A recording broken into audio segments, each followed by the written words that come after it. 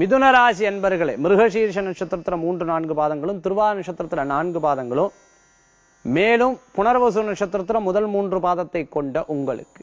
எண்ணற்ற உயர்வான தன்மைகளுக்கு வரத்துக்கு உண்டான சூழ்நிலைகள் வந்து சேரும். நல்ல முன்னேற்றங்கள் உண்டு. எதிர்பார்த்த பதவிகள் கிடைக்கிறதுக்கு உண்டான வாய்ப்புகள் உண்டு. வேலை மாற்றம் எதிர்பார்க்கிறவாளுக்கு முன்னேற்றங்கள் உண்டு. படிப்புல அடுத்தடுத்த நிலைக்கு வரத்துக்கு உண்டான வாய்ப்புகள் பிரிந்த தம்பதியினர் ஒன்று கூடுறதுக்குண்டான சூழ்நிலைகள் வந்து சேரும். திடீர் பிரயாணம் வெற்றியை தரக்கூடியதாக இருந்துருக்கும்.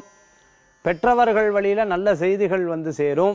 சகோதர சகோதரிகளிடையில் நல்ல ஒற்றுமைகள் ஏற்படுத்தி கொடுக்கும்.